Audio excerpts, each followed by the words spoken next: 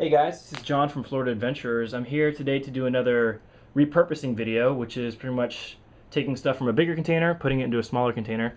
And the topic this time is water purification. So um, if you know anything about bleach purification, um, I'm going to post a link in the description to kind of get you your values of uh, your part solution, like how many drops of bleach you put to a certain amount of water.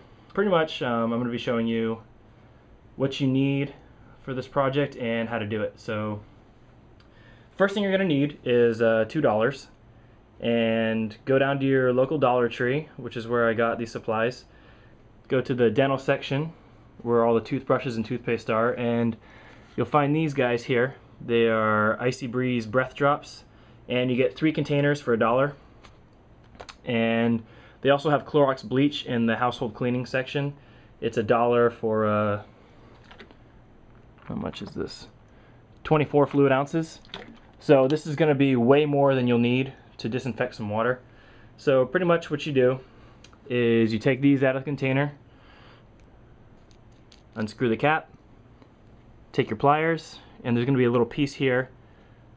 You just pull off the drop piece, and then you can take some kind of funnel or funneling device and pour bleach into this bottle, and then just insert the cap back on and cap it.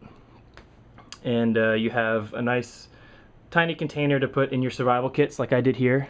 You can see. Ooh, sorry about the mirror. Bleach. So I measured out exactly how many drops are in these containers and it's going to vary depending on how full the bottle is but I, I counted out I just took the uh, the actual breath stuff that came prepackaged in here and I got about 115 drops so I think the uh, the recommendation for drops to, to the amount of water is about three drops per liter.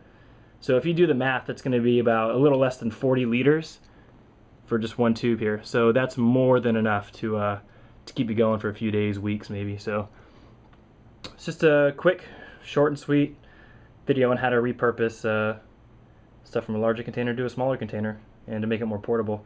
I have a couple of these in my survival kit and my day hike and uh, backpacking bag. So hope you guys enjoyed and hope this information was uh, informative. Alright guys, we'll catch you on the next video.